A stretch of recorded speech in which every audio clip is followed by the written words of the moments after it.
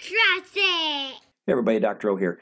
In this video we're going to cover the chambers of the eye. So you see the, the ciliary body and the lens, they're going to separate the eye into a large posterior cavity, which is also called the vitreous chamber, and a smaller anterior cavity. So let's start with the posterior cavity because it's actually easier. So the, the posterior cavity or this vitreous chamber is full of, full of vitreous fluid or um, vitreous body, which is this gelatinous mass. If you ever dissected an eyeball, it's the part that kind of plops out looks like snot. Its job is to help retain the shape of the eye, but also it supports the retina. So uh, it actually keeps the retina from detaching. So sadly, my dad's going through this right now. Um, his retina started to detach. They were able to reattach it. Things look pretty good. But they had to insert some gas and he had to stay on his stomach for a week. So this gas bubble bubble would, would hold the retina in place while it healed. So the vitreous body is supposed to do that. So that's, that's, the, uh, that's going to be the posterior cavity of the eye full of this vitreous body or vitreous humor. So the anterior cavity then has to be further subdivided.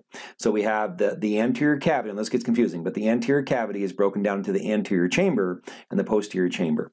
So the anterior chamber is going to be, it's going to extend from the cornea, the transparent portion of the outside of the eye, um, to the iris. So that's going to be the anterior chamber of the anterior cavity.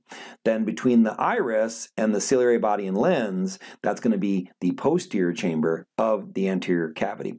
So what's important up here? So this is going to be full of the fluid aqueous humor, which looks a lot more like water. So aqueous humor is going to circulate in this anterior cavity, and then after it's done circulating, it's going to be removed by uh, draining into the canal of Schlemm, also called the scleral venous sinus.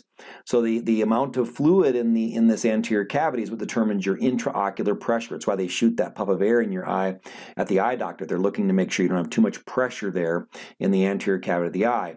Uh, too much pressure can lead to glaucoma and nerve damage. So speaking of my, my father's procedure, um, a couple days after after they were concerned because his eye pressure was too high and they had to use um, several drugs to bring it back down or else he was going to be permanently blind. So too much eye pressure can lead to, like I said, um, optic nerve damage uh, and glaucoma.